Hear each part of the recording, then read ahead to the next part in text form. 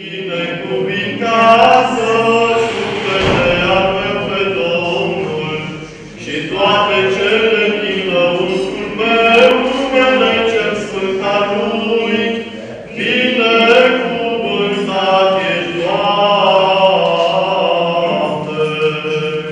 Sfântul Ioan Botezătorul este cunoscut în mod special pentru sfințenia vieții lui. Faima de mare proroc, dar mai ales curajul de a spune fiecăruia în fața adevărul, au făcut ca Ioan să fie închis în temniță din ordinul lui Irod Antipa. a trimis un temnicer care l-a omorât, i-a tăiat capul Sfântului Ioan, aducându-l pe tipsie.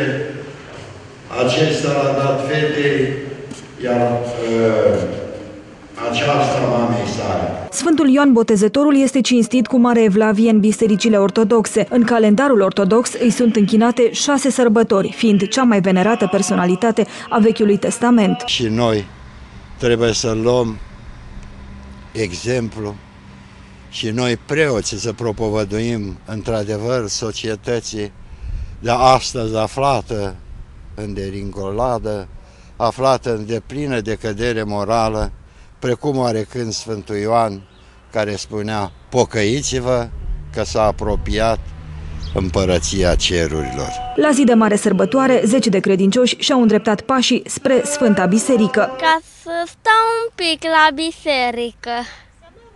Să mă rog la Dumnezeu să, să-mi dea, ă, să-mi vrea binele, să mă ajute și când sunt în pericole.